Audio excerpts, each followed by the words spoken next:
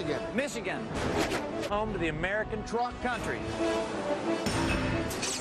Home to the NASCAR Craftsman Truck Series. last year. Toyota's battling for the top spot. Toyota took the checkered in Michigan. Toyota. Your winner in Michigan International Speedway. What a mark for the Craftsman Truck Series. Pretty big for Toyota. I'm David Starr, and I drive a Chevy. I'm Ricky Craven, and I drive a Ford. Hey, I'm Jimmy Spencer, and I drive a Dodge Ram truck. I'm Mike Skinner. I drive a Toyota. Toyota will take the checkered again this year. Bring it on. Come on, Michigan. is next.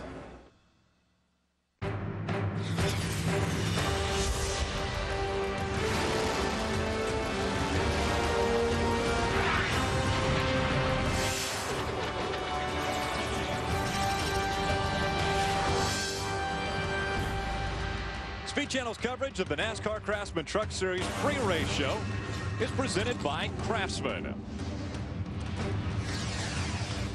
And clouds have moved overhead. Isolated showers are possible in the area, so NASCAR has decided let's get this one underway quickly. Temperature just 62 degrees in Michigan today. We look at the four top 10 point standings. Ted Musgrave on top for the last three races. Ricky Craven holding on to second and yet to get his first win in the Craftsman Truck Series. And Jack Sprague, our most recent winner in this series, in 10th. Speed Channel's coverage of the NASCAR Craftsman Truck Series pre-race show is brought to you by Craftsman, celebrating 10 years tough of the NASCAR Craftsman Truck Series.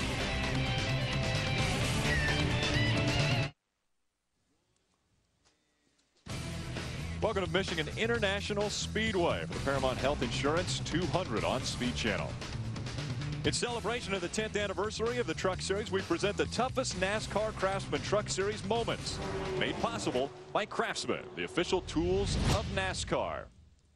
Moment 16 took place right here at the Michigan International Speedway. It was July 31st of last year when Travis Kvapil, driving the number 24 Toyota Tundra, scored the first modern era win in the upper tier of NASCAR for a foreign manufacturer.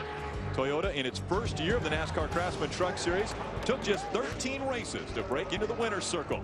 Many times prior, Toyota had come close, but it was this day that all the chips fell into place and saw Travis Kvapil put his name forever in the record books as the first driver to win in a Toyota in the upper tier of NASCAR.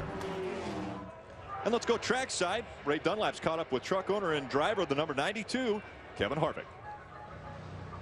Well, a week ago, I put some news on the air about this guy that apparently wasn't quite right. Now, you're not going to drive the two car next year in Cup. You're going to drive the 29, right? Yeah, we're not going anywhere. Uh, myself and Chevrolet and GM Goodwrench are, you know, uh, looking forward to the future. So uh, committed to Richard Childress as long as he wants to keep me around. So uh, we're looking forward to having fun today. Our GM Goodwrench Silverado uh, didn't qualify that great, but it's really good in race trim, so it should be a lot of fun. How long is it going to take you to get to the front? Well, it just all depends on how the holes open up. These things draft so good, and, and uh, you, know, you get such a run that we'll just have to wait and see. I'm just going to follow Hornaday. Well, Kevin Harvick will have to start 24th in today's race, but up front is young Kyle Busch, and he's with Wendy Venturini.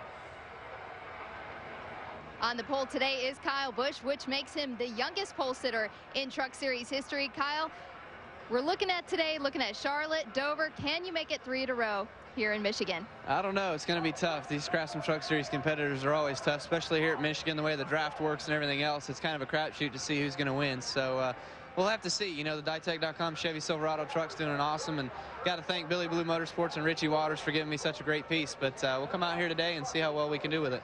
Three other drivers have won three races in a row in the Truck Series. The last time someone did that was Greg Biffle in 2000.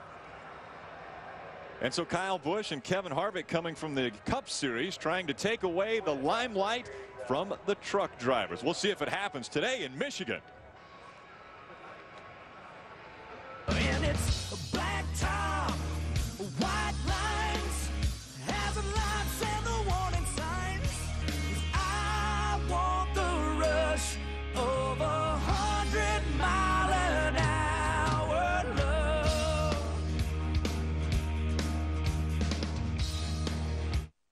Words in Motorsports, here's the president of Paramount Health Insurance, Jack Randolph.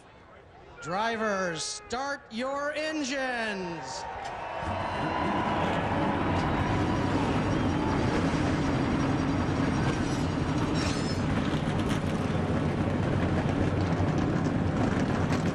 Engines are fired up. 36 trucks come to life as we're getting ready for our Paramount Health Insurance 200 on Speed Channel.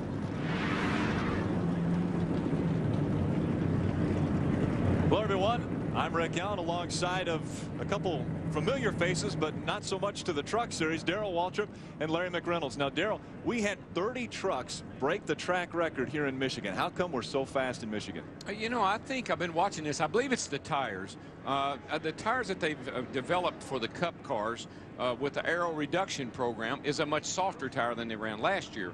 What they've done is they've taken the same tire, that the Cup tire, and put it on the trucks. And it even the same thing applies to the Busch cars. It's really speeded up the trucks because this tire is pretty soft for a truck. And uh, only thing is, Larry, am I going to be able to run a whole stop? There are no free lunches when you have a soft tire. It's going to be a fast race, just like it was a fast qualifying session.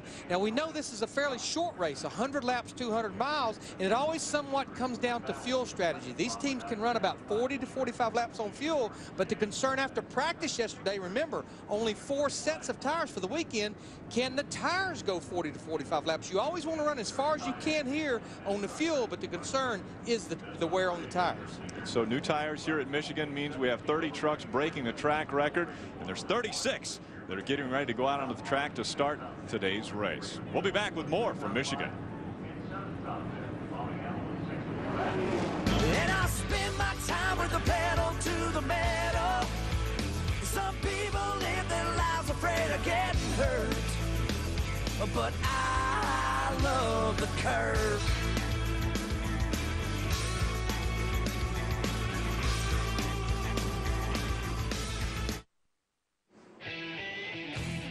The NASCAR Craftsman Truck Series on Speed Channel is brought to you in part by Craftsman, celebrating 10 years tough of the NASCAR Craftsman Truck Series. By Ford, the official truck of NASCAR. And by Superchips. Power has never been easier.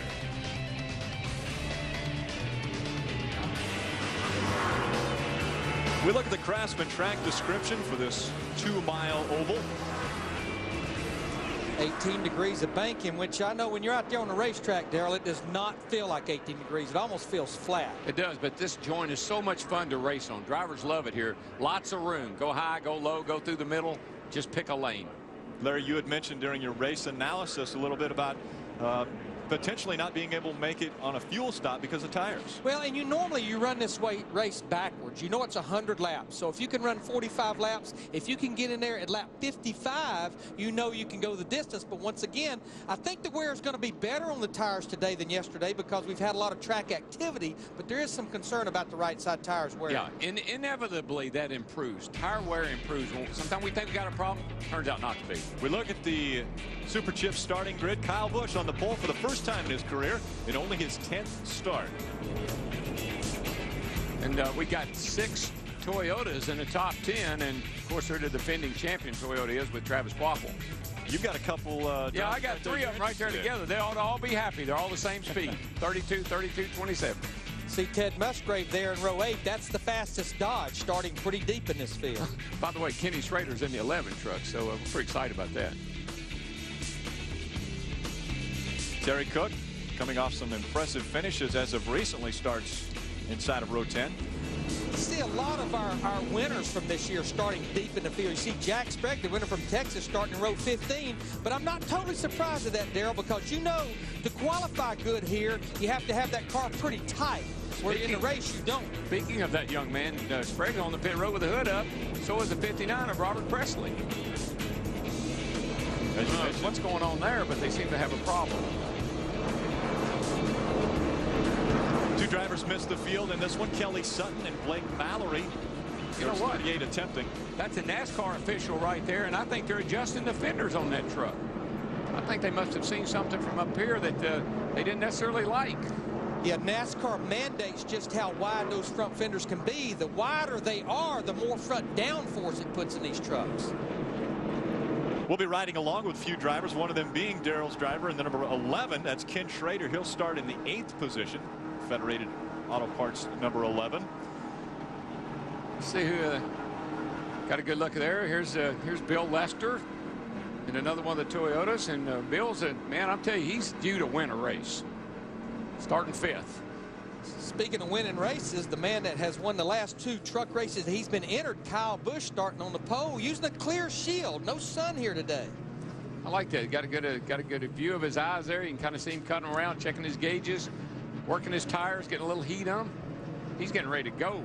And go he will. Checking that mirror every once in a while, even here under the pace laps. Kyle Busch, first time he sat on the pole, has a chance to win the Craftsman Win from the Pole Award. If he wins today's race from the pole position, he can win $10,000 for this number 15 team. But if he doesn't win the pole today, then another $2,000 is again added to the prize money, and that purse increases by $2,000 until someone wins the award. $50,000 available from Craftsman this year. I mean, obviously, he's a Hendrick driver, and uh, they got DEI power. That's an interesting combination. Ray, what have you found out down there? Well, Rick, those guys in the booth were talking about how wide the racetrack is here, and I agree. You're going to see lots of passing. The record for lead changes is 18 in this race, and we very well may break that today. But it's my belief that if we have two trucks running side by side at the end of this race, it's going to be the guy on the outside that wins this race. The reason, that extra momentum on the outside. Remember, we have a gear rule this year, and there's less RPMs in the engine. If you want to go fast on that last lap, I think you're going to have to be on the high side. Wendy? Thanks, Ray. Today's race at Michigan is a manufacturer's dream with three of them located in Michigan.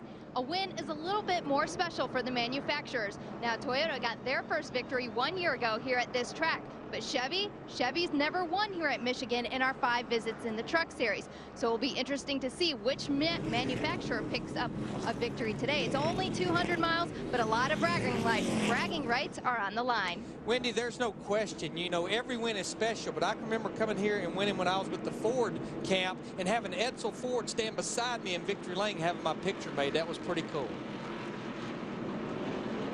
One of the Toyota representatives made a comment to me yesterday about Chevy trying to load the field to get a win here in this race. Guys like Kyle Busch coming into the race, Kevin Harvick, uh, almost trying to stack the field a little bit if they can. Well, that's just good racing. I mean, you know, if you want to win this race, come with your best, load them up and bring them on.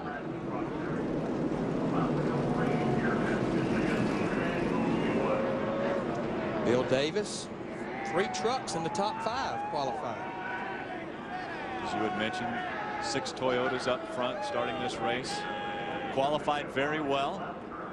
Mike Skinner had the best practice times leading into this. Well, DW, we don't get to do this much in the No, truck baby. series.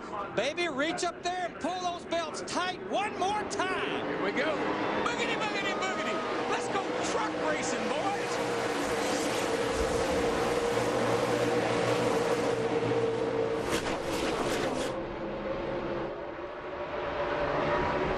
Kyle on point. Rick Crawford getting a little loose coming through turns one and two.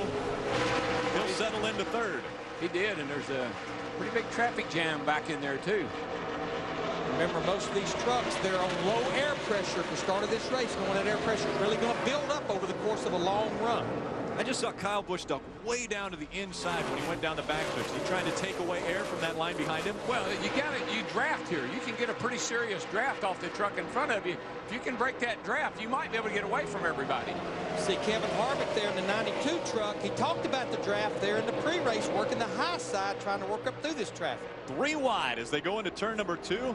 And it, it was the 99 of Ricky Craven that went on the inside of the white line when they went across the start-finish line. Kevin Harvick, the man on the move, picked up nine spots in the first lap. But you'll definitely see him go below that line here on the front stretch, but not like Daytona. It's not out of bounds. And you can see right now, I mean, what we're talking about. You can suck up behind a truck in front of you and get a nice pull right into the third turn. That's what I love about these trucks, Darrell. They poke such a big hole in the air, and it opens that door for that truck behind it. Out in front now, starting to line up Kyle Busch, Mike Skinner, Rick Crawford, and Johnny Benson. What, Mike Skinner, that five truck starting to reel in Kyle Busch in the 15, and this is a backup truck for Mike Skinner. I was just noticing there, guys, when Mike Skinner was coming through the corner, it almost looked like someone was coming off of the right front balance there. He had problems in, in practice where he cut a tire down and really hit the wall hard. But I think they have that truck on the ground so much that everything on the front end is basically dragging, especially on the lower air pressure here in the early laps. Yeah, that's that's the main thing right now. You're on low air. You're gonna that's gonna get better as you go along here. There was a side-by-side battle for fourth. Now Kevin Harvick, again, he started way back in 24th position, and Harvick's made his way all the way up to 10th, so into the top 10 after three laps. But did you see how he was down on the inside and all those trucks on the outside of him hooked up together, drove right on by him and left him sitting down on the bottom by himself. You got to time your passes just right here. Riding along with Bill Lester, currently running in the eighth position. Looking on the inside of him, the 99 of Ricky Craven trying to make the pass. Seeing all these trucks spark. Like I say, they have them down on the ground, soft springs, aggressive shocks. This racetrack is very smooth. That's what makes them so hard to drive when you qualify. That package that you need for the race is a little bit loose for qualifying.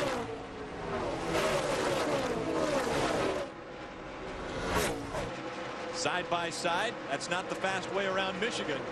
And look who's behind him, Kevin Harvick. He is a man on the move. Because like you mentioned, he started back in the 24th position. Four laps, he's already well into the top 10. One of the things that this, this one of those tracks is kind of aggravating as a driver. You can be a lot faster than the guy behind you, but you can't get away from him. Especially if his truck is handling really well, because he'll catch up with you in the turns.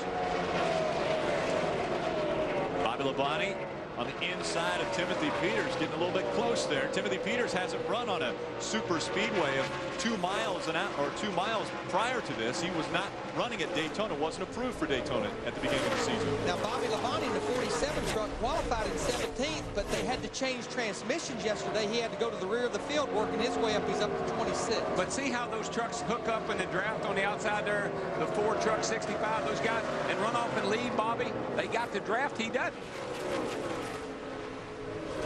Kevin Harvick continuing to move up. He's into ninth position. Ricky Craven just in front of him.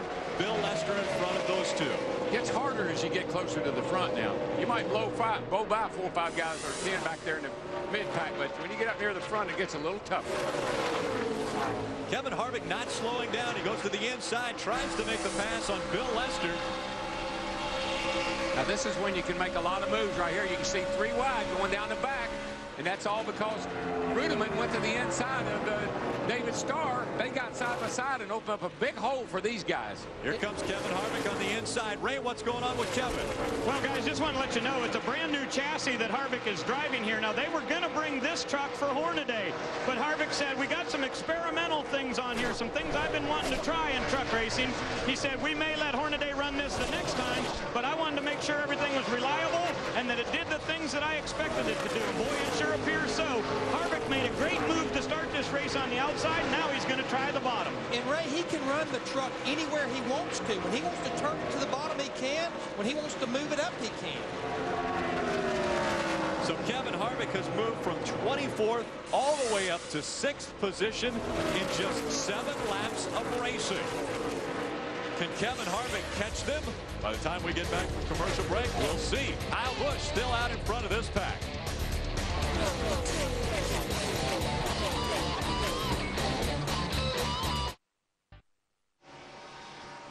Coming Wednesday, June 29th to Speed Channel, it's a brand new show called Pinks. Lose the race, you lose your ride. Pinks pairs two ordinary drivers who put their cars and honor on the line. The rules are simple. The winner gets the other guy's car, and the loser has to find a ride home. Pinks premieres Wednesday, June 29th at 8.30 p.m. That's exclusively on Speed Channel. You know, at the top of the show, we talked about the struggles of the Dodgers ever since Ted Musgrave and one pretty much spanked them at St. Louis about a four or five weeks ago. But right now, you see Bobby Hamilton in the 04 started back in 31st. He's up to 11th, bringing Ted Musgrave with him in the one. And I talked to Ted Musgrave in the one this morning. He said, Larry, I know my truck is not fast, but you know what? I've got it driving good. No matter how fast the racetrack is, that's important. And one thing you know about Bobby Hamilton, I mean, this has been his trademark. Qualifies in the back, blows what by half the field and gets himself to the front just in the nick of time. Yeah, that's 20 positions in 12 laps. Three Dodges running together there. Kyle Busch out in front in his Chevrolet. Looking for three wins in a row for him. Looks like Skinner might be chasing him down ever so slightly. Well, I've been watching the scoring monitor the last three or four laps, and Mike Skinner in the five is definitely about two-tenths of a second a lap quicker right now because Mike finally shook his teammate Johnny Benson in the 23 and Rick Crawford in the 14. You lose so much time here racing with each other. It's not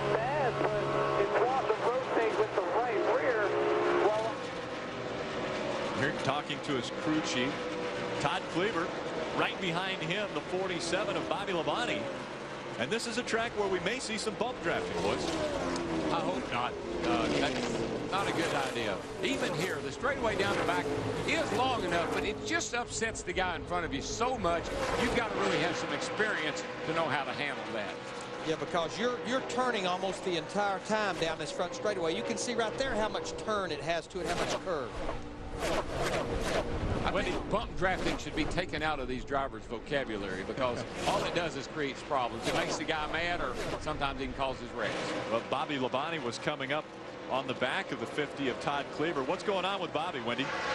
They are thinking about track bar or wedge adjustment on the 47 of Bobby Labonte when they do decide to come in. He's been loose everywhere. Now, what's interesting, when I talked to Randy Goss yesterday, he said we're pretty decent. I think we'll be pretty decent at the start of the race, but about 20 laps in, we're going to be really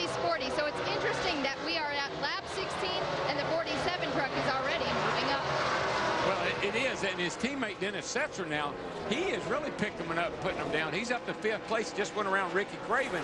So whatever Bobby's needs, whatever Dennis has got, that's what Bobby needs. Setzer through 15 laps. Makes his way up to fifth position. Dennis started back in 10th, so cut the lead in half.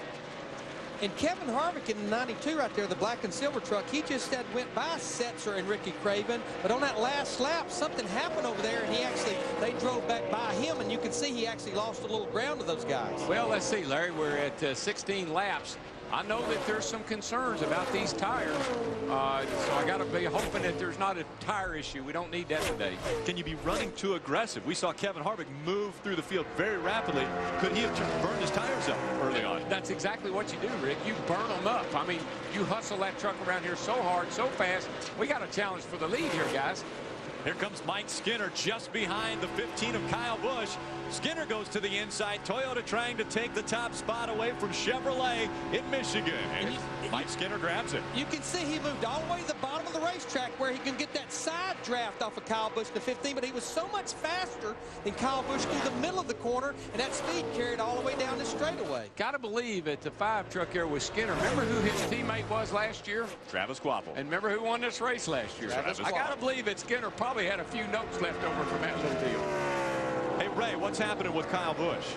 Well, Rick, he has decided to drop back a little bit. He's experiencing a tight and loose condition, and I believe we're going to get a yellow flag right now as uh, there's a smoker out on the track, number 13, Tracy Hines, with problems. Uh, whether or not they pit here will be a big variable. Kyle said he was going to try to save some tires here. That's why he dropped back from Skinner, because he was at a tight, loose condition. Ray, I believe they need to come in right now, though, because of the tire concerns that wear is a factor. I'd come in and take a look at mine if I was these guys. Well, I think we know we're going to see them to pit road at least for fuel and maybe look at the tires because here at lap 18 to 19, this puts them in that one-stop window that they can make it on one stop from here.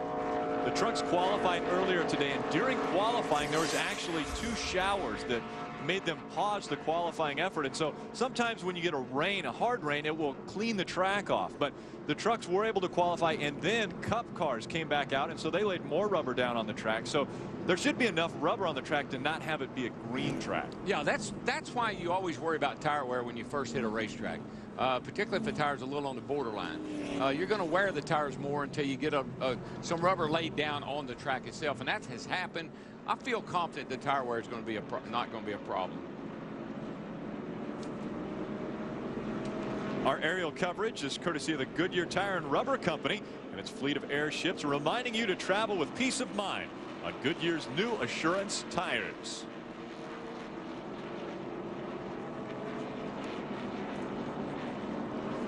Well, we'll see what these uh, gentlemen down here on top of these pit boxes decide to do here, Larry. Well, again, I just can't imagine here that you're, you're, you're approaching halfway through a fuel run. You'll at least want to take advantage of this and put fuel in those trucks. And I would say Mr. Skinner in the five truck will lead everyone down pit road. I'm going to get me four tires right now because I want to know how good my tire wear is, and it's a good indication right here. Mike Skinner leading the pack down pit road, winding. Johnny Benson is one of the first trucks on pit road, but fuel only for the 23. A little bit of strategy. They also went down one round on the track bar, Ray. Mike Skinner wants to go with four tires here. They wanted to get a good look and see what kind of wear they have, especially because he wrecked the primary truck in practice. They'll come around and do that. Everybody going to work. Chris Berger will hang the rear tire, and he wanted me to say happy birthday to his mom, Sherry. These guys have no problem and get away, but Skinner will not be the leader. Johnny Benson and the 15 look like they're the first two off of pit road.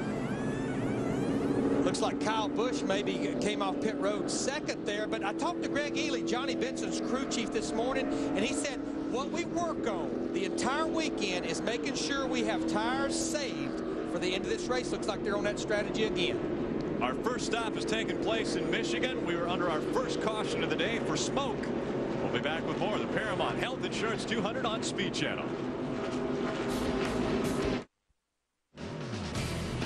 24 Hours of Le Mans continues tonight live on Speed Channel. Deemed one of the greatest sports car races in the world where endurance is parallel with speed. Don't miss 24 Hours of Le Mans continuing tonight live only on Speed Channel following the Truck Series. Got an update from Ray uh, down in the pits there. What they did on the 16 truck, remember he came on pit road to start the race? Pretty smart.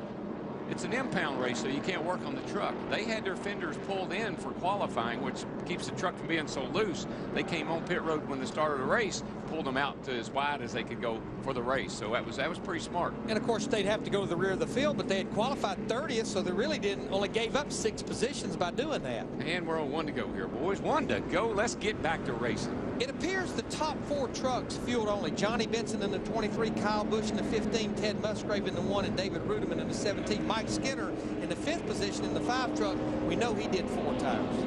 Is that going to be the kiss of death for the four in front of him? I mean, Mike Skinner and the rest of the field, will they just go right by him? Golly, we week in, week out, we, we, we say that, you know, four tires is going to be better than the guy that didn't take any. But we've also seen it work just the opposite, where that, uh, you know, we haven't run that many laps. Sometimes it didn't make any difference. And we know at a racetrack like this, especially for Johnny Benson in the 23, normally being out front is the place to be in that clean air. Clean air, track position, clean air seems to be a little more critical than four fresh tires. Johnny Benson out in front because of the race actually off of pit road. And it was close. See, Kyle Busch in the 15 by sitting on the, the pole had the first pit selection. He had that last pit going out. All he has to do is move a little bit. He almost won the race, but not quite. Talking about tires last week at Pocono, we saw no tires, two tires, and four tires on green flag stops at the end of the race. And it didn't seem to make a lot of difference.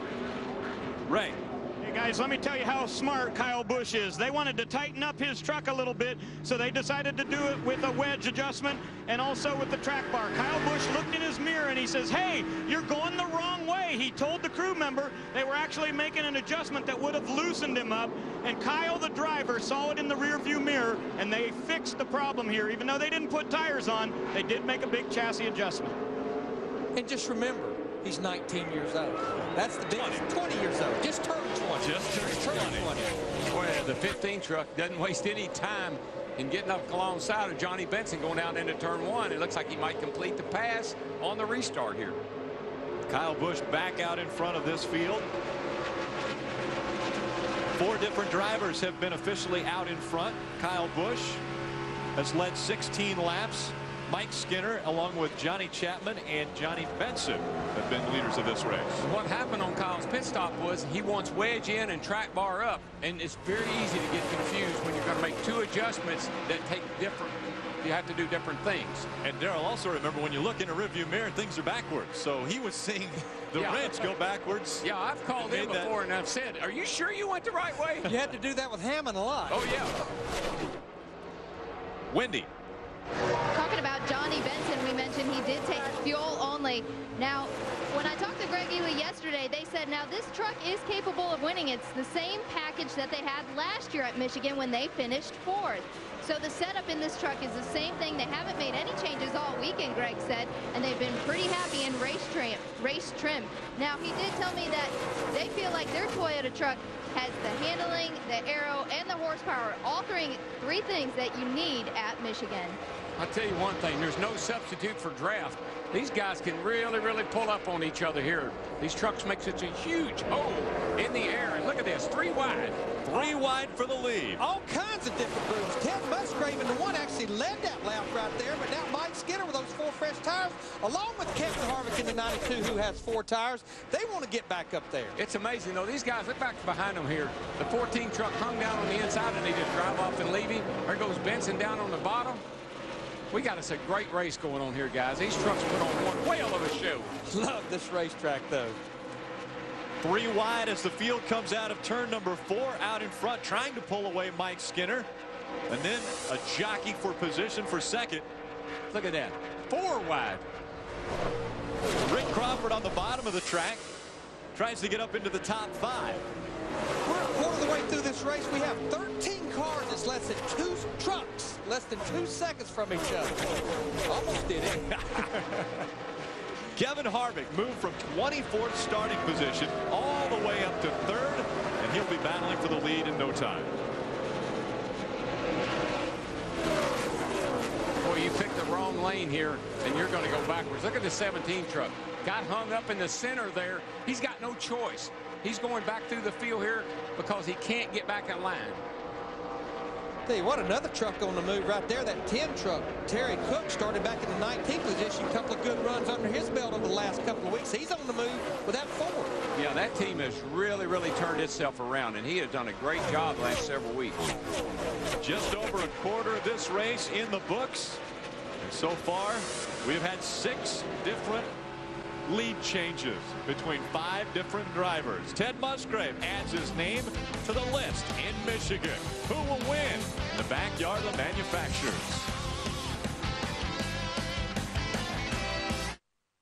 Battling for position right here, Rick Crawford holding on to the 11th spot, but you can throw a blanket over these five trucks. Yeah, and I noticed uh, 17 Reutimann's truck, those cow flaps, they're flapping up and down like he's getting a lot of air up under the hood of that truck. But I'm going to tell you what, battle is an understatement. Oh, They've yeah. been going at it like this for about three or four laps. Oh, this is war. Toyotas and Chevys running Whoa, together. Reutimann gets a shot from the back there. They've got Brandon Witt in the 38 car. Got him Truck. loose. That's, that's just what I worry about, that bump drafting thing. You had mentioned you would you would like bump drafting to be outlawed. No, well, no, I don't level. say outlawed. I said out of their vocabulary. they use it way too much. Kyle Busch has been dropping back. Ray, what's going on? Well, guys, he's very, very loose, and uh, they just can't quite figure that out because they're sure that the chassis adjustments they made were to tighten him up by going down on the track bar. But he said it just doesn't feel like it's into the track. When it comes off the corners, he can barely hold on to it, and he is dropping way back in the field right now, just way too loose for the Ditech Chevy. And I think the biggest thing, Ray, he's one of those trucks that elected not to use a set of tires, fuel only, and you get in amongst a bunch of trucks that have changed tires, you, you just can't maneuver the truck. They're going to make you loose. You, they got tires and you don't. You're going to think you're loose because they're so much better than you are. Kevin Harvick is out in front of the field now, and the battle for second takes place between Terry Cook, Mike Skinner, and Dennis Setzer. Those three trucks vying for one spot. Pretty impressed with impressed with that 10 truck. He's gotten better every week. They're right on the verge of closing the deal. Terry Cook, five career wins, but the last one came in 2002. So it has been a long stint since Terry Cook has found victory lane. Where was that? Indianapolis? That was IRP. Yeah, I remember that race. He was really strong. Trouble down here, turn four, got a truck around. Looks like Johnny Benson getting spun around into the grass. Made contact with somebody. I couldn't tell who it was. Second caution of the day comes out. Back up on the racetrack. And this has got to be a big, big break for Kyle Busch. Yeah, because uh, is that him coming down pit road? Yep. Yeah. Remember Johnny Benson. car is on tether take four. He's got close uh, here. We're gonna have to come back anyway. I think so he's got a right rear Fields just tire getting into two here with no pace car, so these guys can pick it up a little bit. Remember, Johnny Benson, that 23 truck was just like Kyle Busch, one of the trucks that did not take tires last time. Ray, talk to us about Kyle. Well, guys, I'm not sure exactly what the situation here is. When you figure the caution came out, they should have stayed out there. But he has a tire that is torn all up on the right rear. We'll get you a shot here so you can see this right rear tire that just came off of this truck. It has absolutely got cords all over the place. And that is the problem. Kyle said he was going to wreck the truck if he went another lap. So that's why they decided to come down pit road. But this tire is absolutely destroyed. So maybe it was a good call for him because if that tire would have come apart, it could have torn the truck to pieces. But they will have to go to the back of the line for pitting early, but that may be okay. But Darrell, you said it a while ago when that caution came out. There's 33 laps. That's what we talked at the top of the show. That's about the laps that teams were having trouble yesterday. You wanted those four tires that first stop. Johnny Benson comes in for service on the 23. He is the reason for our most recent caution as he was trying to get through three and four. He got sideways and into the grass. It appears that the guys that did not take tires on that first caution are having some sort of some problems. I'm not sure what they all are. Of course, Benson got spun out, but uh, you can certainly see that Kyle Busch had a tire problem. And so as Johnny Benson comes off of pit road, the reason he had to come and get a new set of tires because of this spin coming out of three and four.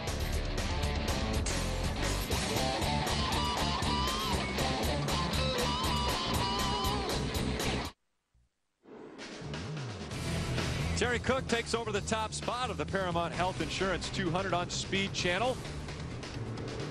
This most recent caution brought out by Johnny Benson sent some trucks to pit road that had stopped and put on tires and others that hadn't put tires on down pit road to put those tires on. So now everyone's on a level playing field. But some have a little more fuel than others. Those that came in that already had put tires on earlier. It appears the top 12 trucks on this restart stayed out completely that time. So they're off sequence now as far as fuel. Ray, what's going on with pit strategy? Well, Rick, here's what I think. You know, like Kevin Harvick's one of the guys that came down here on lap 35 to get fuel. He had changed tires on 18. Well, what does that give you? Well, that expands your window over the other guys that did pit on 18. It's not a big difference, but it may be enough if we get a long green flag run here. It lets them stay out, and the other guys have to pit under green. So the guys that came down here for fuel are just gambling a little bit on the fact that this race will go green. And for the most part, with that pit stop right there with those trucks changing tires that did not change a while ago, for the most part, everyone, the top contenders have used one set of tires. And Larry, now those that came in on lap 18, and we've seen a little bit of tire problems with Kyle Busch after about 30 laps of racing. Can we expect around 50 laps some of these guys to maybe experience some problems similar to that? Well, I think it depends on how your truck's handling and maybe what your tires look like the first time. That's going to be a big key, but how your truck handles has a big role in it too. And I've watched that 15 year, all year long, and they they have a tendency to have some tire problems. So I've seen it in the past. Is that because he runs loose? Really loose. Really uses the right rear of that truck. Right hand side of your screen, see Kevin Harvick in the 92 battling Sean Murphy in the 07. And as Ray pointed out, Kevin Harvick did fuel only that time, so he's full of fuel.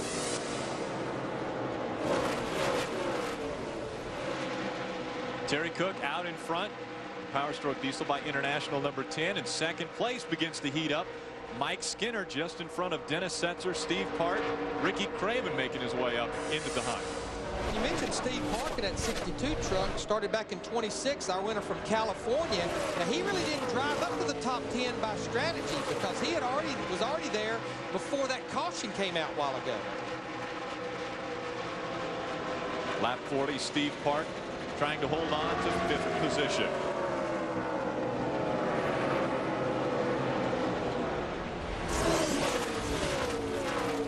Tomorrow at 1.30 p.m. live on Speed Channel, it's Formula One racing at its finest from Indianapolis. Formula One United States Grand Prix. F1's greatest drivers attack the legendary racetrack at Indy. Full cross the famous yard of Bricks First tomorrow at 1.30.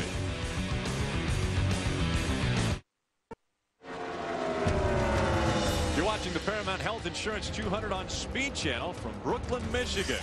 Michigan International Speedway. Ricky Craven trying to take away the top spot from Terry Cook. Man, he's got his hands full. She's wobbling on him. He's going to get away from that 10 truck now to the bottom of the racetrack. Ricky Craven.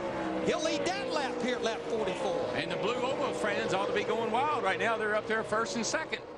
Eight different leaders. All four manufacturers have been out in front. And now Terry Cook is going to take the spot right back from Ricky Craven.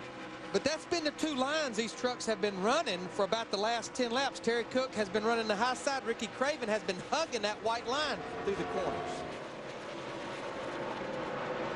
Rick Crawford, Kevin Harvick battling for ninth position. Crawford out in front. Harvick, another driver who's been hugging the white line. There's just so much with the gear rule they've got and everything. Oh, you got a trouble down here again in turn uh, three and four. Three and four, smoke coming out of the back as they spin around. That's Clay Rogers in the 65. Got side by side with someone. I couldn't see who the other truck was and just sucked him around. Third caution of the day coming out.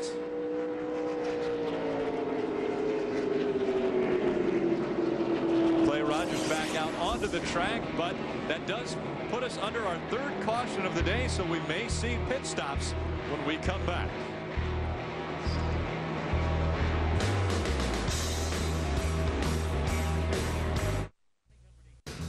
Welcome back to the Paramount Health Insurance 200 on Speed Channel, and here they come down pit road. Wendy. Dennis Setzer was running third when that caution came out. They are going to come in and take four tires, fuel, and a slight track bar adjustment. They're going to go back up on the track bar. Marty Houston on the front, Rodney McGeehee jacking, and Mark Presnell on the rear as it looks like a pretty routine stop on the 46 truck. Let's check in with Ray. Well, Wendy, the Power Stroke Diesel Ford came in, but they're not going to put tires on for Terry Cook. Just tire, or just fuel only, excuse me. And a couple of guys went over the wall to take a look at his tires. They said everything looks fine. They took one round of wedge out of the right rear for Cook, but no tires, just fuel for the Power Stroke Diesel Ford. That time staying out, Todd Bodine, Jimmy Spencer. So Todd Bodine takes over the top spot, making him the ninth different driver to lead this race. Here, Brandon Witt had a pit stop problem. He's going to be black flag missing a lug nut. He'll have to come in and talked about 35 trucks still on the lead lap. That's a long way. He's going to restart this race at the halfway point. Yeah, they had the hood up on Lester's Toyota there. I don't know what they were doing under the hood, but they uh, that kept him on pit road for a while.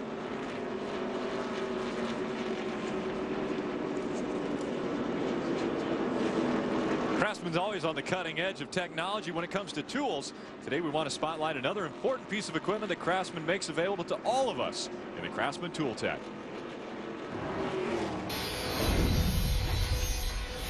Just before a driver heads out to the racetrack, one of his crew members will take a torque wrench like this one and actually make sure that each of the lug nuts are good and tight. That way they know there's not going to be a loose wheel. Well, Craftsman has a brand new torque wrench, and here's what I really like about it. See these two windows? This one shows you in English foot-pounds, and this one in metric. It's a digital readout to tell you exactly the number you're looking for. You want to change it? Well, you just drop this dial, turn the lever, and that changes it from 5 to 80 foot-pounds in half-pound increments. This is a tool that engine builders use all day long, and if you need one, make sure you get one that's accurate. It'll say Craftsman.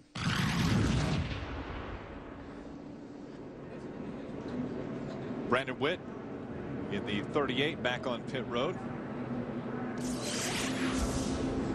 So it, it appears, Wendy, that possibly the trucks that went ahead and took that second set of tires, they're banking on this thing going green the last half of the race. We're, we're looking at the tires that just came off the 17 truck on the last caution, not this most recent caution. These were 35 lap tires. You see the cords, they're actually showing on three of the tires, the right front, the left front, and the right rear all have cords showing from the 17 truck. A lot of teams have come down to this pit and checked out tires from the 17. Now the 17 does not run a real aggressive setup, so it's a little bit surprising to see these tires go as quickly as they did. The fear now is that teams will be running out of tires by the end of the race. Well, that's the areas where you have problems on the shoulders, and he's obviously wearing the shoulder of the tire out, camber related, and of course it could be air related as well. But like she mentioned, uh, a lot of these teams, they've used up a lot of those allotted tires already, and we're just approaching the halfway point. Pace truck makes its way back down pit road. Terry Cook back in the field a ways, and now it's Todd Bodine out in front leading the pack. Jimmy Spencer up into second right now. We'll see if he can hold on to that position. New tires behind him. Again, our top six trucks right now elected to stay out, including our leader, Todd Bodine, in the 66 truck. Now a battle for the top spot going down the backstretch. Jimmy Spencer on the inside of Todd Bodine. And that side-by-side -side racing is going to open the door for Johnny Benson to suck up behind them and try to make the pass on Todd Bodine. And just uh, what too long ago, Benson caused the caution, you know, spinning out there in three and four. So he's uh, got himself back up in a good track position. Jimmy Spencer in the two truck, he will lead the halfway point of this race. 50 laps down, 50 to go. Started back in the 27th position in that Dodge. That's just good pit work, Larry. They made good pit strategy here and uh, got themselves good track position. And uh, Spencer's leading the race, and he's really struggled the last two or three races. So uh, good to see the old Dodge back out front. And I know he still has one good set of tires left. He's only changed tires the one time back on lap 34. Brendan Gaughan not keeping up with the rest of the field in the 77 Dodge. What's going on, Wendy? They do have a right front flat, going flat on the 77 truck. All the, the guys are on the wall. I don't know when they're going to be coming in, but the right front seems to be flat on the 77. I know one thing, if he thinks he's got a right front flat, he better not stay out there very long. That's not a tire you want to play around with. Oh, and he going back and forth now, just trying to get the feel of that truck. Kyle Busch We've seen problems in that area where he did not stop for tires early on, dropped way back, and now looks like he's trying to make his way back up through the field. He's currently in sixth position. Yeah, I don't know, though. That track, I don't know if that truck's right or not yet. Uh, it looks like it's better than it was for sure. It's like the only time it was right when it was out front leading. Once he got beat off pit road. Got trouble down here in turn four again, guys. Got, a, got the, the 12 truck around. Robert Huffman. Problems again coming through three and four. That's the third time today we've seen it. Robert Huffman spinning through three and four and gets into the infield grass. We've seen these problems happen before. Most of the time, it's been by the help of someone else. We'll find out if Robert Huffman had help when we come back.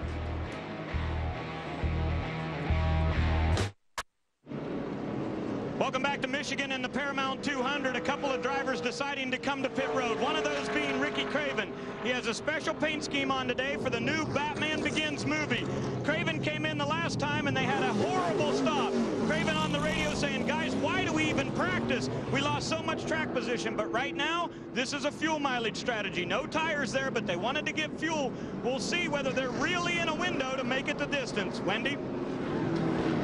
The 17 of David Reutimann was running fourth, and he decided to come down pit road as well. He took four tires and tightened up the truck just a little bit. I showed you the cords not long ago on that first set of tires, how awful they look. So they're not taking any chances in the 17 pit, but you also have to wonder if they're going to run out.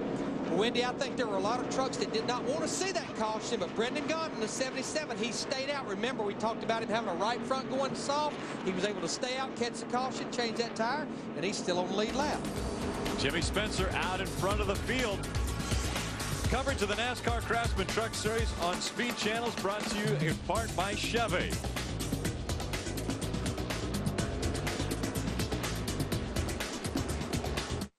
Underway with the Paramount Health Insurance 200 on Speed Channel. Jimmy Spencer holding on to the top spot. Kevin Harvick has moved up to second to challenge him for that lead.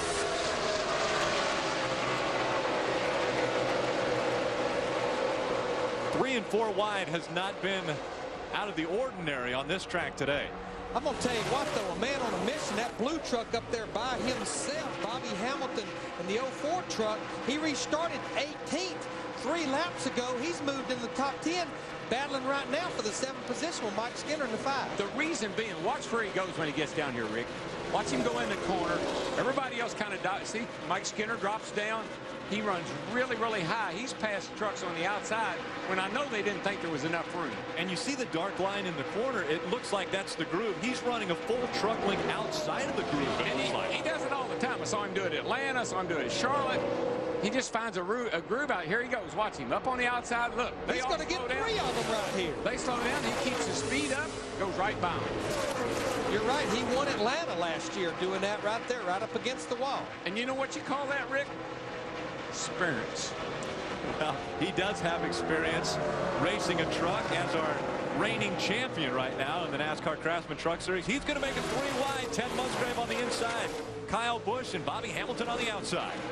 But if the Dodgers are hurting on the straightaway, what he's doing up there, he's keeping that thing wound up. He's keeping the RPMs up. I don't see the Dodgers hurting too much. You got one leading and him a coming. One leading, and third and fourth is Ted Musgrave and Bobby Hamilton. Right behind them, Kyle Busch, but then Steve Park in a Dodge, rounding out the top six.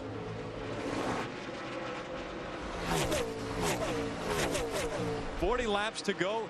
Larry, can those guys that made stops most recently, can they make it on fuel? I think so because, A, the pace has slowed down just a little bit. You're not going to use as much fuel there. The guys told me this morning 40 to 45 laps on fuel. They pitted with 46 to go. We had one or two caution laps there. I think definitely some of those trucks could make it to the end. I think that the crew chiefs are holding their breath. They can make it on fuel.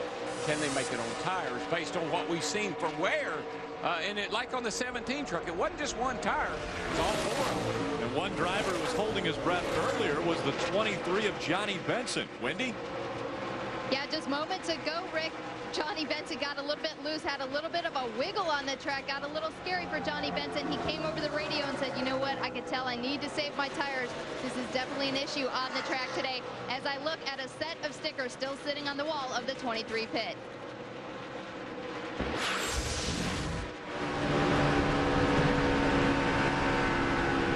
Ride with Kyle Busch, the 15 here. You can hear him, Larry had to get out of the throttle and make room for Benson to slide up, and that opened the door for Kevin Harvick to go right on by. Man, when you have to lift, you just lose so much momentum.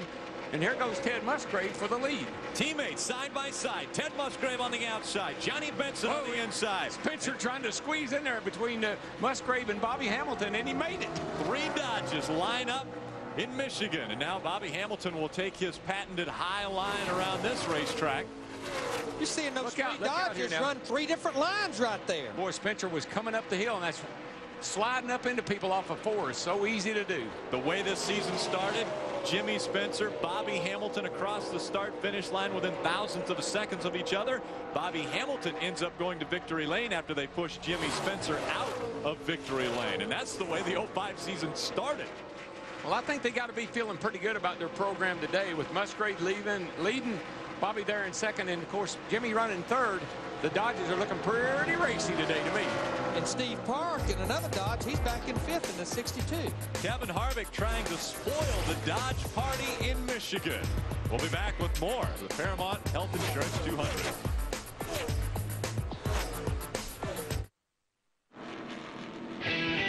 Coverage of the NASCAR Craftsman Truck Series on Speed Channel is brought to you by Chevy, the new Chevrolets, an American Revolution, and by Superchips.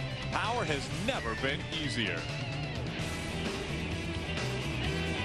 Looking down from the Goodyear blimp on the Michigan International Speedway, we're under caution number five. Brad Keselowski got spun around and brought out our fifth caution of the day on lap 64. Now we see Ted Musgrave bringing quite a few trucks down pit road with him as we have just 35 laps to go. Wendy? Our leader and Bobby Hamilton, Ted Musgrave and Bobby Hamilton come to a stop. The one truck will pull tape off, but that's it. No other adjustments on the one truck. Now you see they are putting scuff tires on. If we turn around and look at the 404 of Bobby Hamilton, he is putting stickers on the on his Dodge truck. Ray, what do you have on your end of pit road? The Goodwrench Chevy of Kevin Harvick is in, Wendy, and they've got sticker tires also. This is his pit crew from the Nextel Cup Series. These guys do good work. Get him back out onto the racetrack. Harvick with four fresh tires. Those that came to pit road, David Reutimann was the first off of pit road. He had complained earlier about getting a little bit warm in that truck. Yeah, I'm not so sure they didn't pull a piece of debris off the grill of that truck. They pulled something off of it. I saw it in the crew member's hand. I don't know if he picked up a wrapper of some nature or if it was a piece of tape that they pulled off, but he was complaining about being hot. I'm going to tell you who has some pretty good strategy. Ricky Craven in the 99, who ran up front, especially in the early part of the race. He stayed out that time, but just about eight or 10 laps ago, he pitted for fuel and for four fresh tires. So that could be a good move on Mike Beam in that part. Go ahead, Ray. Hey, Larry, that was lap 54 when Craven came in that last time, and I asked Mike Beam, how are you going to be on fuel? He said, we need six or seven laps of caution, and we're going to be okay to make it. We're done pitting for the day. If we didn't get any more caution, he was going to be very, very close, maybe in trouble. But with this little bit of caution, they think they can make it. Well, Ray, obviously these cautions right here are helping. Remember, the formula normally at a two-mile racetrack is two caution laps equal one green lap. So they're certainly hoping we run at least one or two more cautions. With the pace slowing down a little bit, they very well could make it. Well, we're, on, we're on one to go, Larry. And one thing I've noticed about these single car spins and so forth, you don't have very long cautions. They've been pretty fast. Couple, three laps, they're back to green racing. High above Michigan International Speedway for 80 years, one of America's most recognizable images, the Goodyear blimp was floating overhead, providing these aerial views and reminding you to travel with peace of mind on Goodyear's new Assurance tires.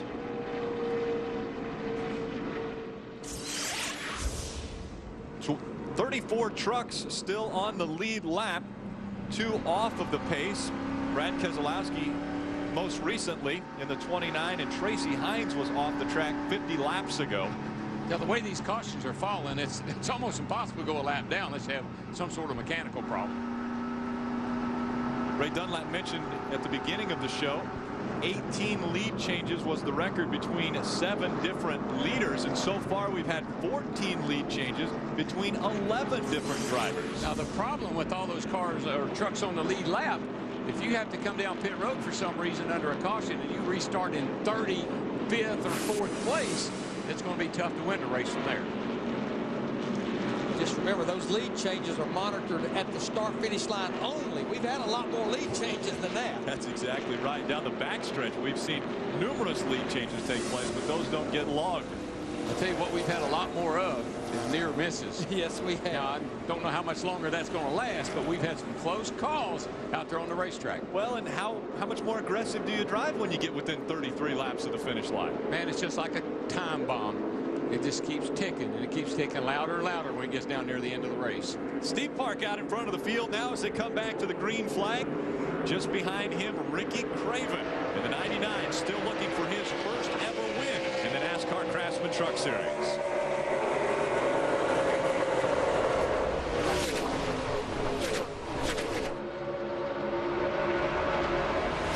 First to fall out of line, the 38 of Brandon Witt goes to the inside of the first three. He falls back into line as they go down the backstretch.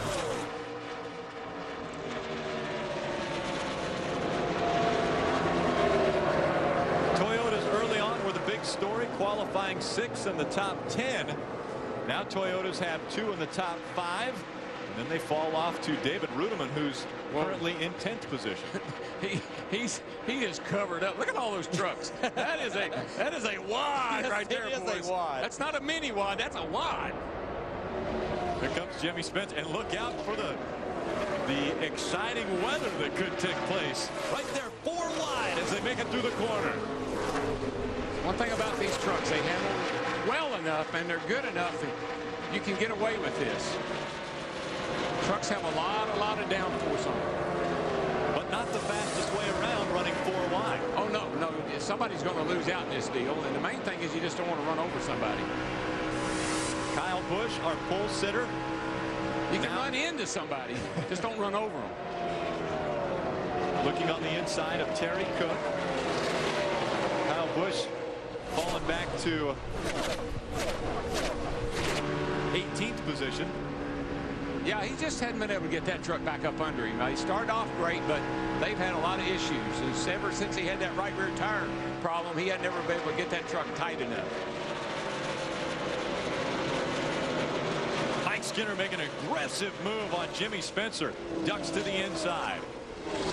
Well, that's where you got to really have a good handling truck to run that bottom right there. You can very bottom and very top. That's where you want to be able to run if you can. Remember, a lot of these guys, their own fresh tires right now, they're able to maneuver that truck that way. Steve Park still out in front of this field. Ricky Craven, Todd Bodine, Brandon Witt, Matt Crafton are your top five. Rookie Clay Rogers with another impressive run in sixth position. Yeah, that kid's done a great job for Bobby. I mean, he's really Bobby Hamilton. He's done a good job. Now, as we watch on the left-hand side of your screen, our leader, Steve Park, the 62, remember we talked about it earlier, wanted a racetrack similar to this at Fontana back at the beginning of the season. But Ray Dunlap, we were talking to him there, he has not been on pit road since lap 47. So if you add 45 laps to that, Ray, that means he's going to be a little short making it to the end. Yeah, Larry, they cannot make it, and they know that, and it's part of their strategy. Believe it or not, they've got a set of stickers here sitting on the wall. They believe there's going to be a caution somewhere around 30 to go, and they think that's enough time to get back out there and make a run. I, I, you know, I mean, we're almost there now, so or are we there? I don't know, but actually passed it, Ray. Okay, so I, Rick, I don't know how long they can go and still use a set of stickers and get back through the field, but this is a planned move for them as they're holding on tires. I believe the guy that again is in the catbird seat based on pit strategy is the 99. I think he might be backing up just a little bit saving a little fuel just to be safe because I think he's in the best shape tire-wise we know. Steve Park out in front of the field. He was able to jump in front of the field in California the last six laps to claim his first Truck Series win.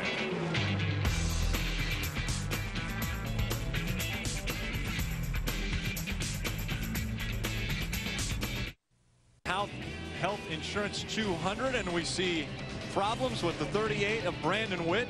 And we saw a very slow running 99 of Ricky Craven. You see the front end damage of the 38 and the back end of the 99 with damage. Quite a bit of contact here. The 99 gets uh, gets the one on the outside and gets him loose. See him get sideways. Here comes the 38 with a full head of steam and just rams into the back of the 99. No fault to Brandon Whitts because the 99 was out of the gas both these guys were still running in the top 10. Now, it's hard to say that this caution is a break for anyone, but I'm going to consider it a break for Steve Park at 62, like Ray reported. He needs to get to pit road as soon as possible. He can use his four fresh tires and get full of fuel. He couldn't make it to the end, but boy, that's a long way to go in a short time to get there. I said, good news. You got a caution. Bad news is you're going to restart 33rd. but we saw how important tires were when those four trucks early on stayed out, and they just got gobbled up. That's where Kyle Busch backed up. Here comes Park. That's going to be a lonely feeling for him because you see everyone else is staying out for the most part. Steve Park making the lonely drive down pit road. Ray.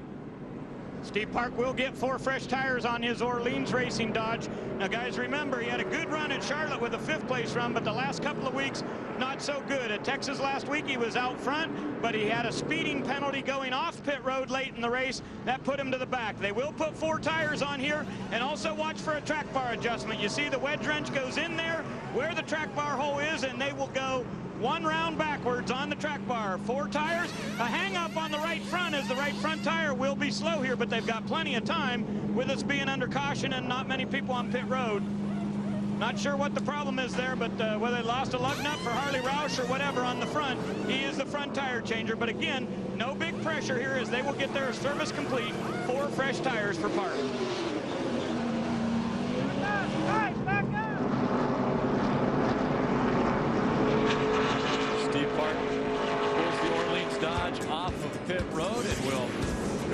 Back of the field as most of the field stayed out under this last caution.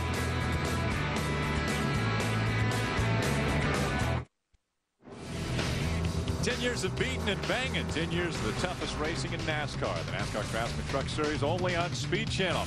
Our next stop, the Milwaukee Mile for race number 11. Last year, Ted Musgrave won that race from the pole position. It's the Toyota Tundra Milwaukee 200.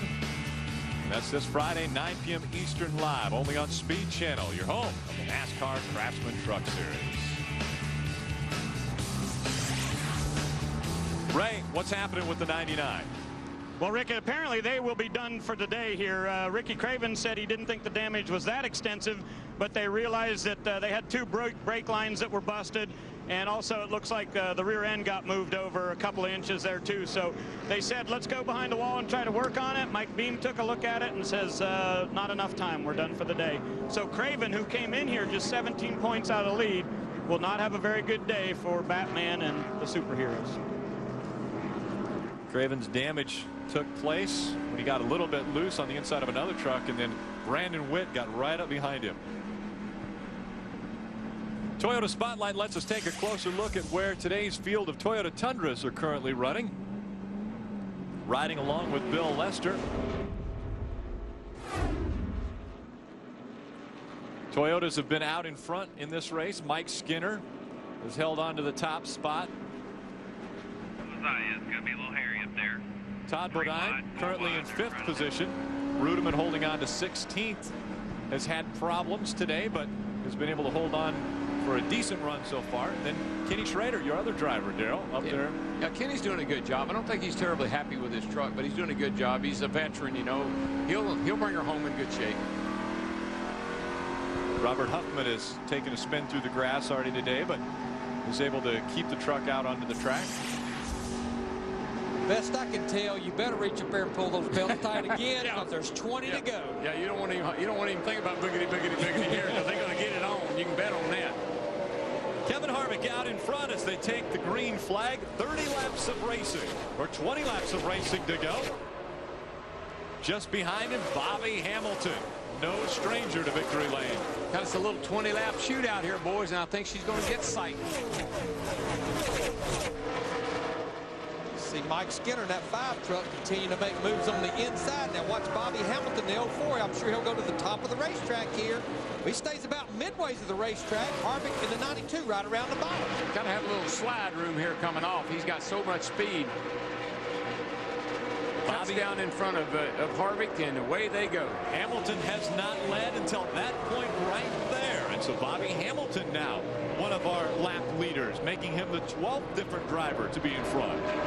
In 12 laps ago, he restarted back in 19th position, and here he takes the lead in that 04 truck. He's been one of the drivers that have have committed to the outside of this track. He's been able to pass guys on the outside of the groove. Now, but watch this. Now that he's got the lead, let's see where he goes. Three different trucks, three different lines through turn three and four. I, I, I, thought he would run. Once he got the lead, I thought he might go to the bottom, which I think he probably wishes he had uh, of, because as you can see, all three of those guys got, well, two of them got by him anyway. But Dennis Setzer in that 46 truck, he takes the lead with 18 laps to go. Adds his name to the long list of drivers that have been out in front. That's what I love about the end of every race that we go to, whether it's Cup, Truck, Busch, whatever. You don't know who's holding what until we got down inside those last 10 or 15 laps. 17 different lead changes between 13 different drivers. And Ted Musgrave looking to the outside now. Dennis Setzer for the top spot.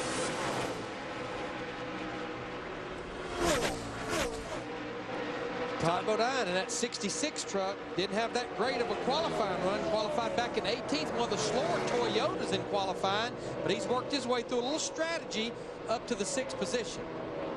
Kyle Busch trying to take away the spot from Todd Bodine. Busch running on the inside of the 66. One thing we know about the 15 now, we know he's plenty fast. And maybe he was just taking it conservative up to this point, saving his tires because he knew he had a little bit of a tire issue. Jack Sprague trying to make it two in a row. Bobby Hamilton following behind him. Sprague in 19th position. Bobby Labonte is behind him in the 47. Side by side Crawford and Terry Cook. Those two currently running in the 10th and 9th positions. And so with just over 15 laps to go in this one, Dennis Setzer, Ted Musgrave, and Kevin Harvick are your top three.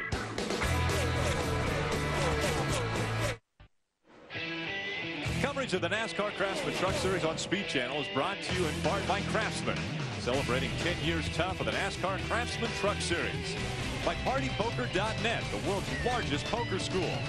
By Superchips, power has never been easier and by new Mobil 1 Extended Performance, official motor oil of NASCAR.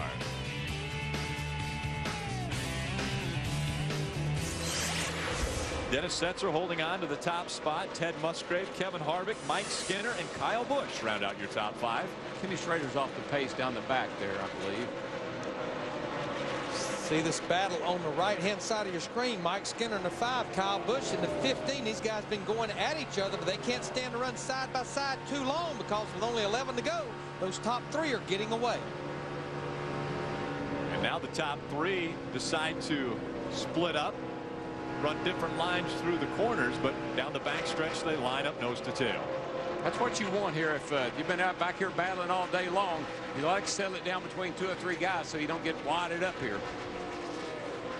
Dennis Setzer, the last time he visited Victory Lane was Texas last year. His best finish this year, Gateway, finished second earlier.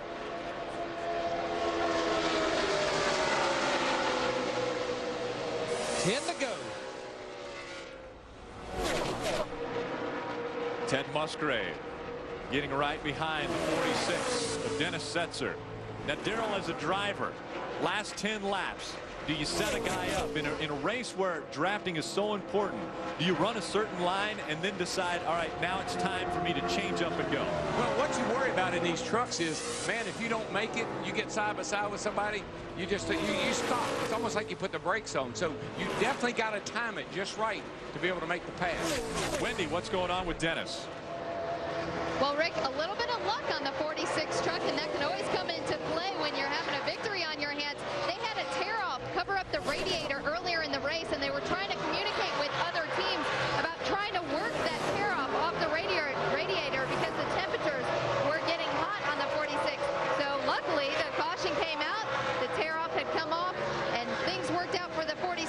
Now, Dennis hasn't run very well here at Michigan.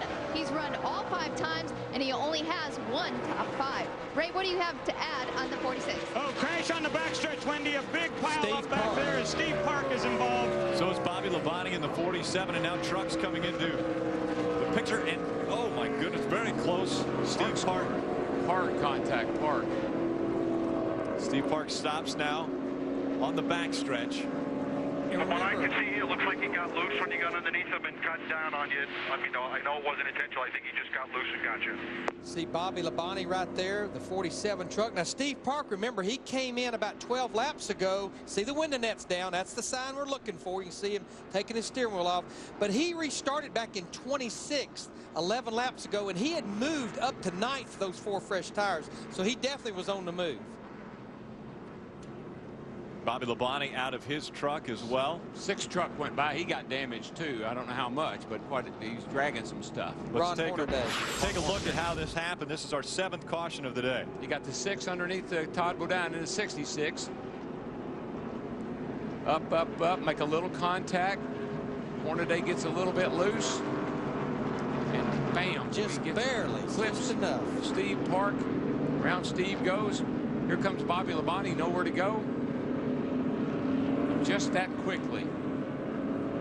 Wadded up three good trucks. And Steve Park in the 62 was absolutely just a victim. He had a fast truck. He was much faster than anyone here he was racing with. Just a few more inches and he'd have been all right. And he gets turned hard, Larry. That's a really tough snap around right there.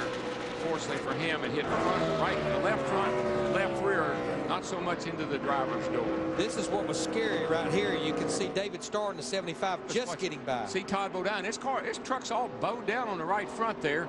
There goes a piece of something out of one of the trucks. Steve Park is holding his breath, hoping he can slide by here, but he doesn't quite make it. I'd like to back that up and watch that again because Todd Bodine's truck was really low on the right front, but then something flew out of it, looked like the sixth truck.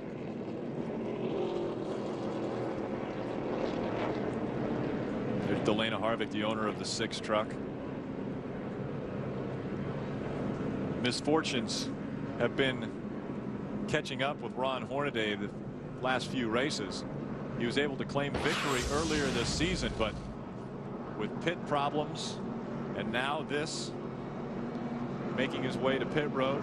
But with all that said, he still came in here fourth in the points, only 66 points out of the lead.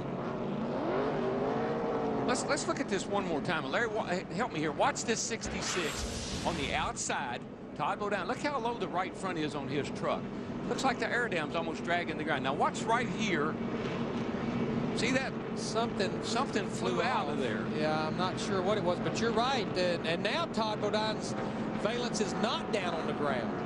Well, it was rolled over, wasn't it? I mean, you oh. think he may have been on, jumped on the brakes or something right there? I can't tell. It just is odd how far down on the ground it was. It's like he almost had a flat right front that's for a it. moment. That's what I first thought. He had a flat right front.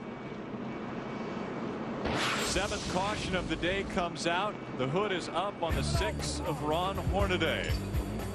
We'll have a single file restart when we come back. Premier division of NASCAR in our Nextel Cup update. Point standings, Jimmie Johnson out in front. Carl Edwards moves up to fourth in the point standings after his win in Pocono. In the top 10 make it into the chase as well as the driver who is within 400 points of the leader. Tomorrow on Fox, Ryan Newman will lead the field to the green flag at 1:30. As you boys will be calling a uh, Nextel Cup race. Oh, yeah, baby. Yeah, Sunday afternoon. The Rocket Man on the pole. 26 cars broke the track record. Ryan Newman over 194 miles an hour. They're going fast. A great crowd on hand for the trucks. We'll be back for the finish after this.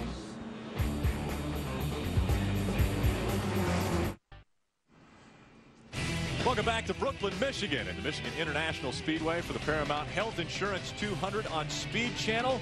Four laps of racing remain. We're under caution number seven. And let's go down to Ray Dunlap. Well, Rick, right before that big wreck happened, I was about to add just a little bit about the 46 and Dennis Setzer's team. His crew chief is Eric Phillips. And, of course, they've worked together a good bit here trying to refine things, but realize he was the guy that took Travis Kvapil to victory lane here a year ago in that Toyota.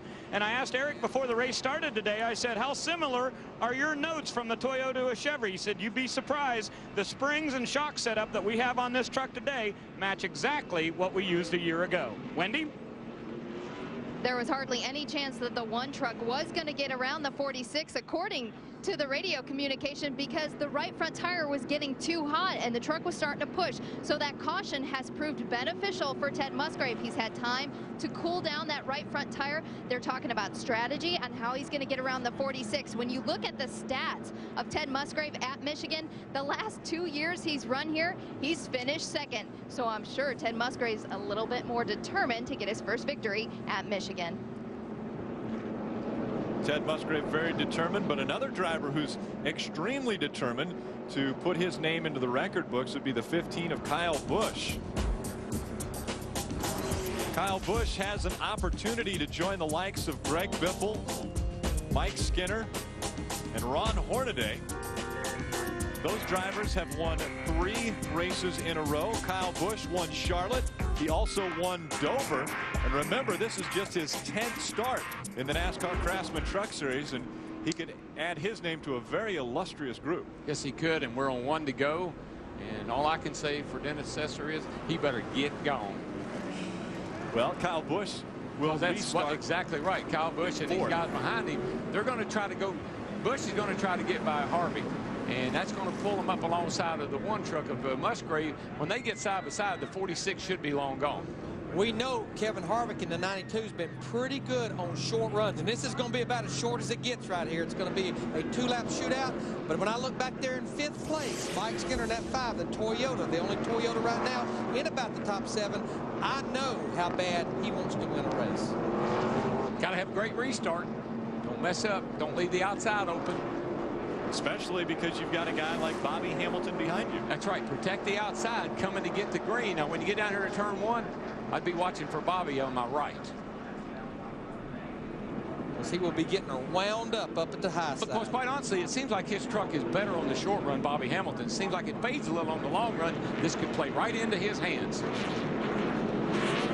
There you talked about how important this restart. A lot of these trucks have a lot of laps on their tires, a lot of cycles, and you can spin those tires on a restart. Ron Hornaday back out onto the track. He's being shown in 30th position. NASCAR's trying to get him to run down on the bottom of the track. Yeah, there was fluid on the uh, pit lane there uh, when he came uh, into his pit stall, so it may be leaking something. Three laps of racing to go. Randy Kaiser's going to take the pace truck down pit road. It's all in Dennis Setzer's hands. Three laps of racing away from victory number one in 2005.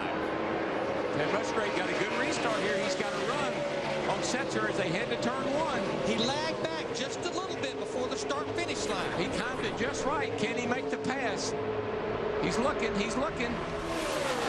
Two drivers looking on the inside of the track, Kevin Harvick and Kyle Busch, and smoke coming out of the one of Ted Musgrave. Musgrave looks as though he blows a motor. He does, and it got oil all over Kevin Harvick's windshield, and Harvick can't see. No caution yet. Harvick is having trouble seeing, I, I guarantee you. Caution flag not coming out. The flagman's grabbed the white flag, and so he wants to let everyone know that there's one lap of racing to go as Musgrave brings the number one Dodge on the inside of the track, and Dennis Setzer will take the white flag. And just as we anticipated, Bobby Hamilton, the 04, went to the high side. And as soon as the white flag came out, the yellow flag came after it, meaning Dennis Setzer will win the Paramount Health Insurance 200. There will not be a green-white checkered after the white flag has been displayed. Got to make about another half a lap under caution. NASCAR has let us know Dennis Setzer took the white flag and then the caution flag came out and so it will be Dennis Setzer claiming his first win in 2005. Remember, the minute that caution was displayed, the field was frozen. They came across right there, Setzer, Kyle Busch, Bobby Hamilton, Kevin Harvick, and Mike Skinner. Bobby Labonte being his teammate this weekend, I think has been a big plus for that team because Bobby and Tony both in the Cup cars qualified very well. Transfer some of that information over to this guy. He wins the race. Crew chief. And with more from the team of the 46, Wendy, I think you're standing by our crew chief. It was one year ago that Toyota got its first victory with Travis Kvapil, and on the pit box that day was Eric Phillips. Now Chevy has their first big victory at Michigan. You must be a pro when it comes to this track. Uh, uh, it's the first place I ever got to sit on the box with Joe. I don't know, four or five years ago. We struggled a little bit, and I was determined to come up here last year and run good with Travis, and uh, we did. One uh, about the same setup and everything as, as we had in that thing last year, so that must work pretty good. I'm, I'm pretty impressed with these guys. Uh, that Chevy Z71 Silverado run great today. Congratulations to you and the team. Eric Phillips definitely has this place figured out. Well, I'm glad Wendy talked to him because, Darrell, I know Bobby Labonte added to this program, but I think Eric Phillips bringing that setup like Ray talked about a few laps ago, I think that was a big key. Oh, I think you're exactly right. I didn't realize that he was Travis's crew chief last year. That's probably the, the formula for success. Chevy congratulates Dennis Setzer and the number 46 Chevy Silverado on today's big win. No truck has dominated the NASCAR Craftsman Truck Series like the Chevy Silverado. Chevy, the winningest name in racing in American Revolution.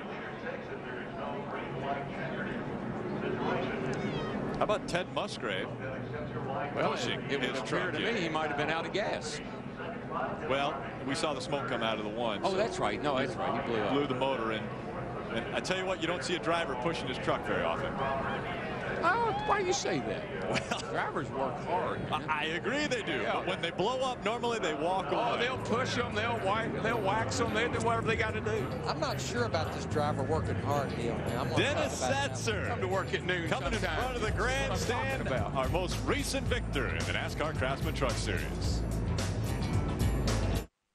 The NASCAR Craftsman Truck Series post-race show is presented by Craftsman. Let's go down to Victory Lane in Wendy. It's been 27 races since Dennis Setzer's last victory. It came last year at Texas as his crew douses him with Gatorade. His 13th career win. Morgan Dollar Motorsports has been to victory lane once this season. That was with Bobby Labonte in Martinsville. Now Dennis Setzer has graced victory lane the first time in 2005. It's pretty exciting. Did you ever expect it today at Michigan? Well, we knew we had a really good truck. Our Z71 Silverado was awesome during practice yesterday. It was so fast through the corners all day, and then our RCR motor just carried it down the straightaway. So we had a good package today. Proud of Eric and all the guys. You know, these guys just hit so hard all week at the all week at the shop, practicing their stops and stuff. I can't tell you how far this Morgan Dollar Motorsports team's come. Did you have problems with tires? We were looking at cords on a lot of the tires on pit road. Was it an, ever an issue with you today? I don't think so. Eric never said anything. This thing was just so fast through the center of the corner.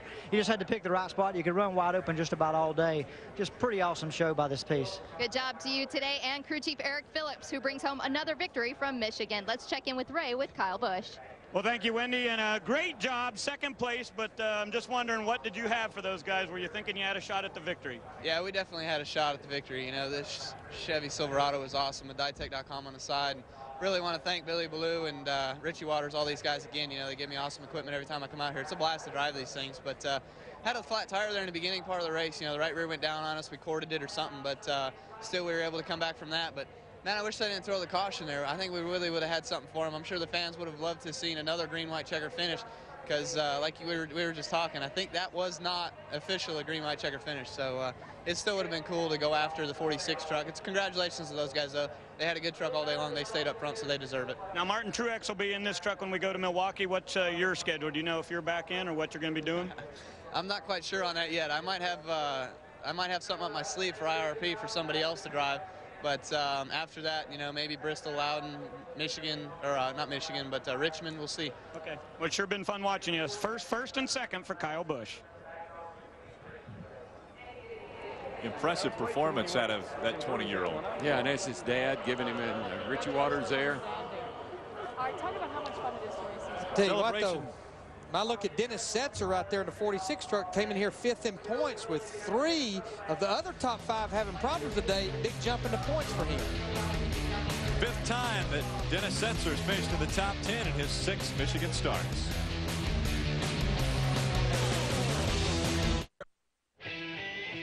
Speed Channel's coverage of the NASCAR Craftsman Truck Series post-race show is brought to you by Craftsman, celebrating 10 years tough of the NASCAR Craftsman Truck Series. Take a look at the unofficial results for race number 10 for the Truck Series. Again, Dennis Setzer sitting in victory lane. Kyle Busch with a very impressive three-race performance, first, first, and second. And the reason that these are unofficial, remember we talked about the moment that caution came out with one to go, the field is frozen. Now, unless it's for the finish of the race, they go back to the scoring loops. But when it dictates who finishes where, they go back to video, snapshots, whatever to determine who finished where in this race. Yeah, I think the controversy or the dispute is about seventh down to about uh, 13th. There was a lot of uh, action right in there.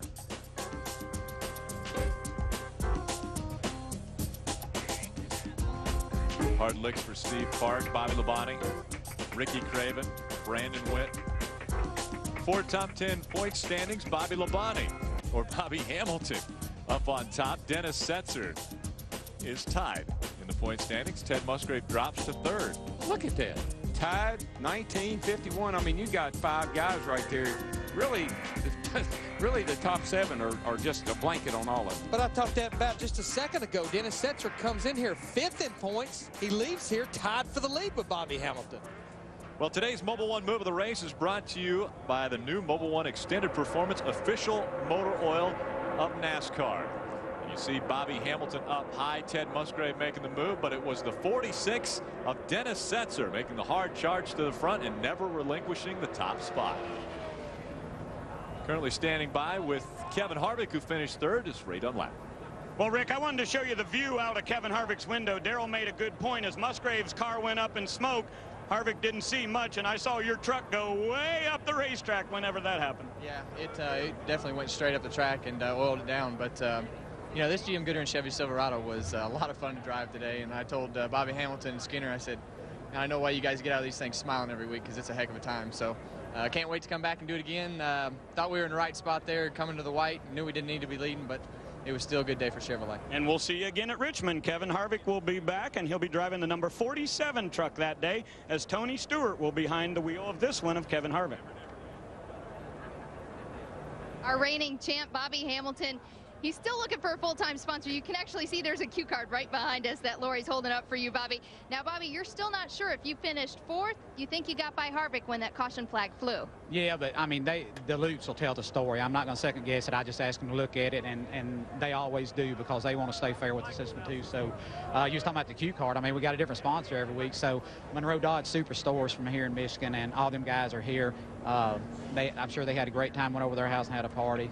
Mac Bailey, got your driver's suit on here with Dodge and Detroit, Lufkin Pro Series, Clifty Farms. If you've never had a Clifty Farm Country Ham, you need to do it. And also, you've been to the ride along, my ride along. You rode with Yes, me I in them trucks. You drove them. So we started a new fan club. Everybody needs to go to the website and look. And it's got some cool stuff in it about the ride along. So, but I mean, I'm real proud of my guys. We've had a terrible last two or three weeks. This is a good point stay for us. I hate to see, see Ted have a bad day because he's a fellow competitor Dodge driver, but good day.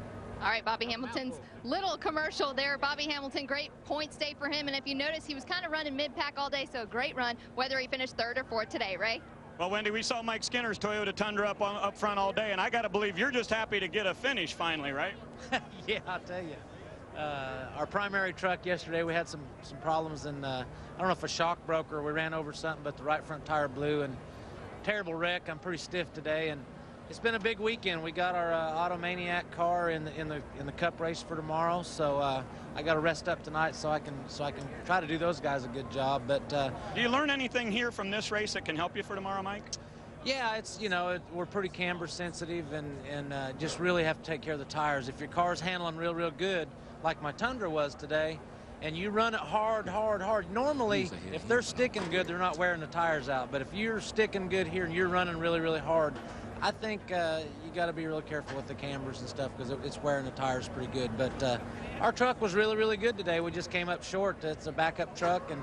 Uh, qualified pretty good with it and had a pretty good day. But uh, I just want to thank Bill Davis and the Toyota folks and everybody, you know, Valvoline, everybody that, that helps on that thing. And uh, I've just really, really got a good relationship. We're running out of time. We got to run. Sorry. Good luck tomorrow. And so out in front to start this race, Kyle Busch was looking to claim his third victory in the NASCAR Craftsman Truck Series in a row. But it was a lot of bumping and banging and sliding as we saw seven different cautions slow us down and slow even Batman down in the 99. But it ended up Dennis Setzer taking the top spot. This copyrighted telecast may not be reproduced, retransmitted, or used in any form without the authorized written consent of NASCAR Broadcasting. NASCAR would like to thank all of our loyal fans for your continued support, and we hope you enjoyed today's broadcast.